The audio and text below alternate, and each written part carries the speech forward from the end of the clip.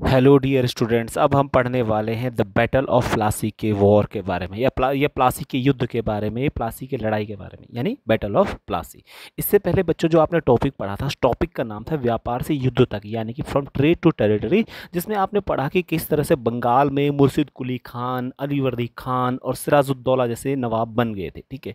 और सारे नवाब जो थे जो बच्चों बंगाल पूरा ये देख सकते हैं बंगाल है तीन नवाब तो आ ही गई अलीवर्दी खान मुर्शद कली खान और सिराजुद्दौला सारे के सारे पावरफुल थे। तो धीरे धीरे करके ये जो नवाब थे, बंगाल के कंसेशंस यानी कोई भी छूट जो है कंपनी को नहीं देना चाह रहे थे। कौन सी कंपनी को? East India Company East India Company Bengal में ट्रेड करती थी, व्यापार करती थी।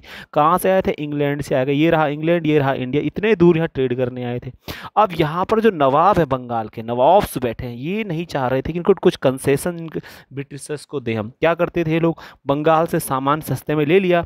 फ्री में ले लिया सामान, बिना टैक्स चुकाए सामान खरीदा और यहाँ से सिप में लेके सीधे यूरोप पहुँचा दिया। अब जैसे जैसे बंगाल में जो नवाब नए आते गए, उन्होंने कहा, जी, इनको ईस्ट इंडिया कंपनी को छूट नहीं देनी, कोई ट्रेड में, इनको टैक्स चुकाना ही पड़ेगा।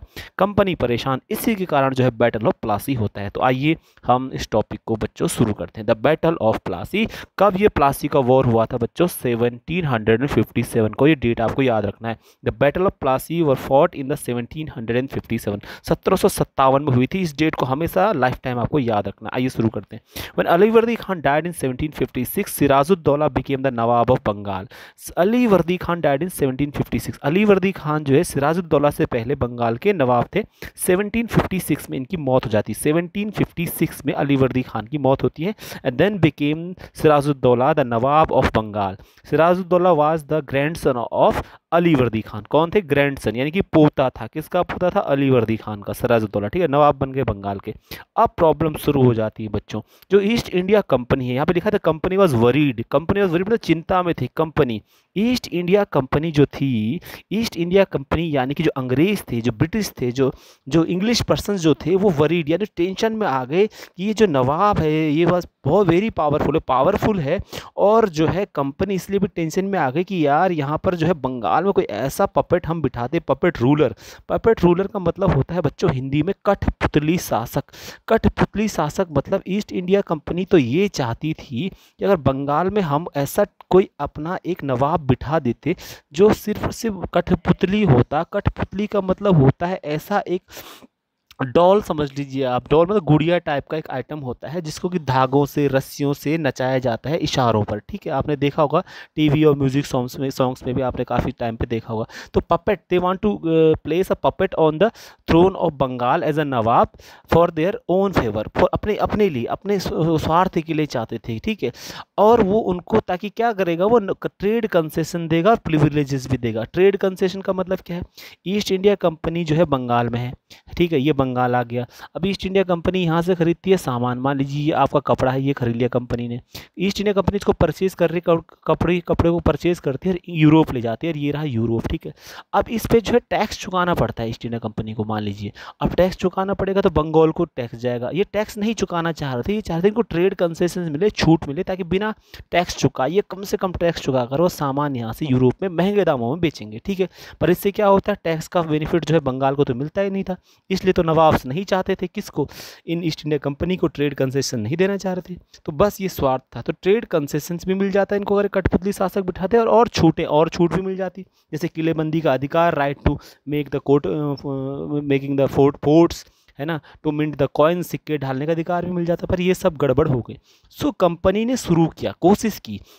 लेकिन उसके बाद उसने क्या किया? सिराजुद्दौला के जो विरोधी थे, उनको उसने नवाब बनाने में मदद की। मतलब कोशिश की कि कंपनी ने कोशिश की कि सिराजुद्दौला के जो विरोधी हैं, आप देखिए, कभी भी राजा कोई बनता है तो उसके विरोधी भी बहुत सारे होते हैं। कंपनी ने यही किया, सिराजुद्दौला के जो विरोधी थे मतलब अपोनेंट्स थे राइवल्स जो थे, उनको ईस्ट इंडिया कंपनी ने सपोर्ट किया और कहा कि हम आपको नवाब बनाएँगे तो आप हमारी हेल्प कीजिए। बस यहाँ से बैटल ऑफ़ प्लासी का वॉर का जो पॉइंट्स है, वो शुरू होना शुरू हो जाता है। यहाँ पे आप देख सकते हैं स्क्रीन पर। अब उसके बाद क्या होता है बच्चों की, जवाब पे जब क्या हुआ, कंपनी तो कोशिश कर रही थी कोई और नवाब बन जाए, लेकिन सराजुद्दौला तो नवाब बन ही गया था। सराजुद्दौला क्या था? नवाब बन गया था। उसके बाद सिराजुद्दौला ने कंपनी को कहा कि आप जो हैं, यहाँ पर जो भी काम कर रहे हैं, काम मतलब मेडलिंग जो कर रहे हैं, यानी मेडलिंग का मतलब होता है दखल अंदाजी टांग अड़ाना यानी कि इंटरफेरेंस इंटरफेयर करना। तो कंपनी जो थी बंगाल के जो एरिया है पूरा, या बंगाल का नवाब है रीजन है, वहाँ पर पॉलिटिकल अफेयर्स यानी राजनीतिक मामलों में इंटरफेयर कर रही थी। कौन कर रही थी? कंपनी कर रही थी।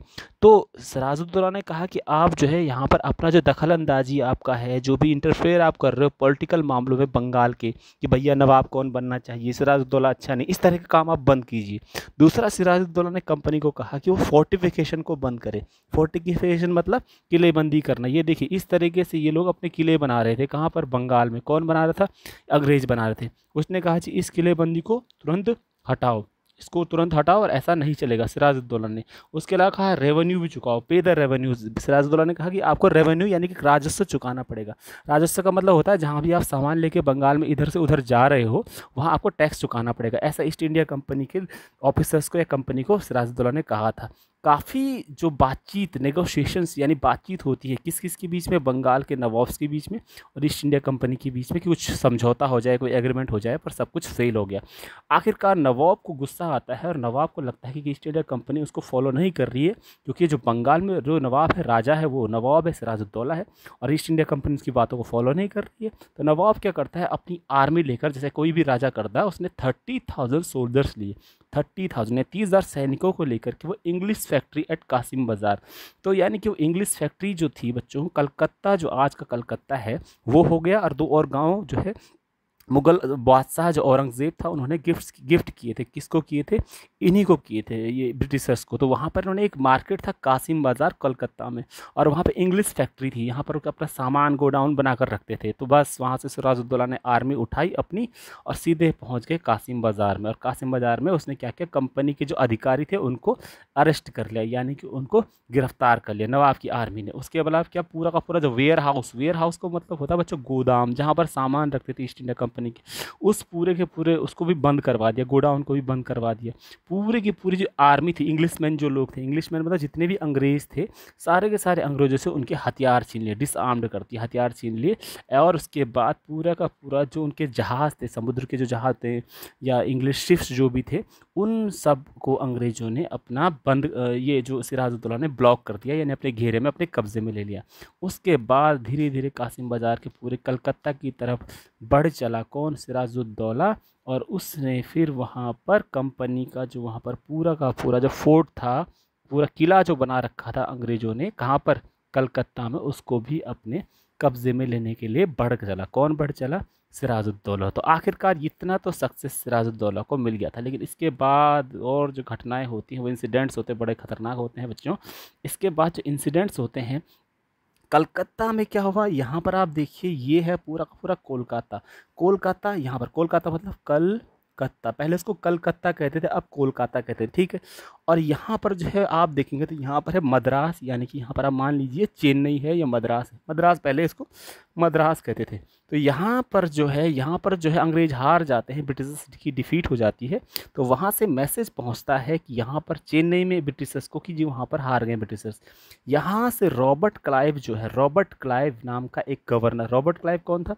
रॉबर्ट क्लाइव पहले क्या था? एज अ क्लर्क इंडिया में आया था और चेन्नई में जॉब कर रहा था। कौन? रॉबर्ट क्लाइव, ठीक है। यहाँ पर काफ़ी वॉर्स भी लड़ी थी तो ईस्ट इंडिया कंपनी का एक ऑफिसर था रॉबर्ट क्लाइव तो क्लाइव को पता चलता है क्लाइव यहाँ से जो चेन्नई या मद्रास से अपनी आर्मी को लेकर के, ठीक है आर्मी को लेकर के, अपनी नेवल फोर्स को लेकर के सीधे पहुँचता है, वहाँ कहाँ पहुँच रहा था?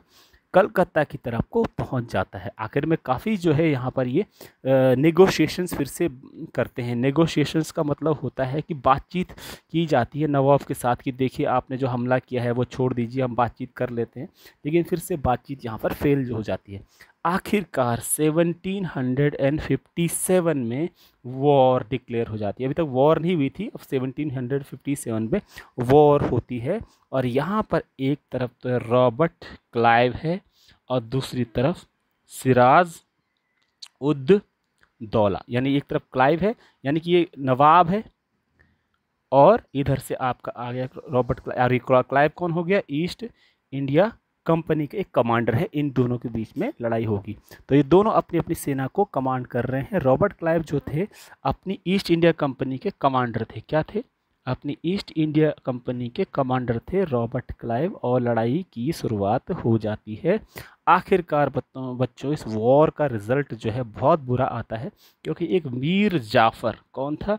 Mir Jafar was called in history as a traitor. इसको क्या कहते हैं लोग? ट्रेटर, यानी गद्दार इसको कहा जाता है मीर जाफ़र को हिस्ट्री में क्योंकि होता क्या है कि नरा, नवाब सिराजुद्दौला के जो कमांडर्स थे, उन मेन कमांडर्स में थे एक था मीर जाफ़र या मीर जाफ़र। और इसने क्या किया? वहाँ पर जो है अपनी जो अंडर में जो एक ट्रूप था या अपनी जो सेना थी, उसको तो लड़ने के लिए कुछ कहा ही नहीं और उसने तो लड़ा लड़ा, वार लड़ी ही नहीं। यानी कि मीर जाफ़र ने वॉर में सिराजुद्दौला का साथ नहीं दिया, जो कि उसी का सिराजुद्दौला का एक कमांडर था। और उसके बाद वहाँ पर जो है बड़े पैमाने पर सोल्जर्स जो है सिराजुद्दौला सिराजुद्दौला के सोल्जर्स मारे जाते हैं और वहाँ पर क्या कहते हैं, सिराजुद्दौला यानी कि नवाब नवाब की वहाँ पर हार हो जाती है। बंगाल का नवाब प्लासी की वॉर में हार जाता है और उसे वहाँ से भाग जाना पड़ता है। बाद में उसको वहाँ से बंगाल से जब वो बाहर भाग जाता है तो कहीं बिहार में जाकर उसको कोई और जो है मीर जाफ़र का बेटा मार, मर, मार, इसको मार देता है। तो कुल मिलाकर यहाँ पर है और और इस तरीके से रॉबर्ट क्लाइव ने वहाँ पर बंगाल में प्लासी की वॉर को जीत लिया था और उसके बाद सिराजुद्दौला के बाद मीर जाफ़र मीर जाफ़र, वही मीर जाफ़र जिसने कि सिराजुद्दौला के साथ गद्दारी की और अपनी अंडर में जो सेना की टुकड़ियाँ थी है ना जो troops of the soldiers he told the his troops of the soldiers to do not participate in the war और उसके बाद जो है सिराजुद्दौला हार जाता है। इस तरह से मीर जाफ़र बंगाल का नवाब बना दिया जाता है। कौन बनाता है मीर जाफ़र को बंगाल का नवाब? ईस्ट इंडिया कंपनी के लोग या रॉबर्ट क्लाइव। और ये जो है इंडियन हिस्ट्री का सबसे इंपॉर्टेंट वॉर बन जाता है प्लासी का वॉर जो कि 1757 में लड़ा जाता है, जिसमें कि आपका जो है सिराजुद्दौला हार जाते हैं और वहाँ पर जो है रॉबर्ट क्लाइव या ईस्ट इंडिया कंपनी जीत जाती है।